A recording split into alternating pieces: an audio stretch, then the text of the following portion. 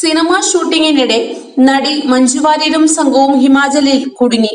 സനൽകുമാർ ശശിധരൻ സംവിധാനം ചെയ്യുന്ന കയറ്റം എന്ന ചിത്രത്തിന്റെ ഷൂട്ടിങ്ങിനിടെയാണ് കനത്ത മഴയിലും മണ്ണടിച്ചിലും സംഘം കുടുങ്ങിയത്.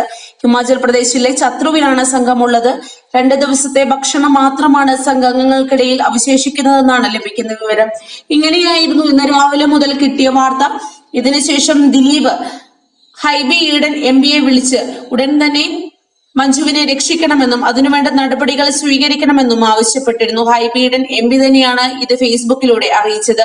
കഴിഞ്ഞ ദിവസം രാത്രി സാറ്റലൈറ്റ് ഫോൺ വഴി മഞ്ജു സംസാരിച്ചിരുന്നുവെങ്കിലും കൃത്യമായി ഇപ്പോൾ എവിടെയാണ് ഉള്ളതെന്ന് കണ്ടെത്താൻ കഴിയുന്നില്ലെന്നായിരുന്നു സഹോദരൻ മധു വാര്യർ ഉച്ചയ്ക്ക് പ്രതികരിച്ചത്.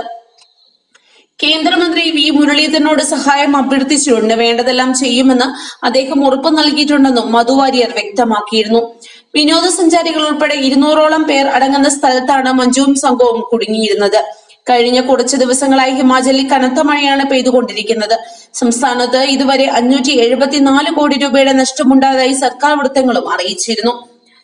ഏതായാലും മഞ്ജു കുടുങ്ങിയതറിഞ്ഞ് ദിലീപ് ആകെ വിഷമത്തിലായിരുന്നു. ദിലീപിന്റെ പ്രതികരണമാണ് ഇപ്പോൾ വൈറലായിക്കൊണ്ടിരിക്കുന്നത്. തനിക്ക് ഏറെ വിഷമമായിരുന്നുവെന്നും ഏതായാലും മഞ്ജു ഇപ്പോൾ രക്ഷപ്പെട്ടെന്നു അറിഞ്ഞതിൽ വളരെയധികം സന്തോഷമുണ്ട് എന്നും ദിലീപ് പ്രതികരിച്ചു. മഞ്ജു തന്റെ മകളുടെ അമ്മയാണ്.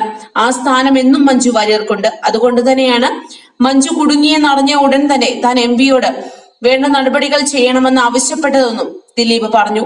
ഇപ്പോഴാണ് തന്റെ ശ്വാസം നേരെ വീണതെന്നും ദിലീപ് മാധ്യമങ്ങളോടായി പ്രതികരിച്ചു. കൂടുതൽ വാർത്തകൾക്കായി ഈ ചാനൽ സബ്സ്ക്രൈബ് ചെയ്യുക.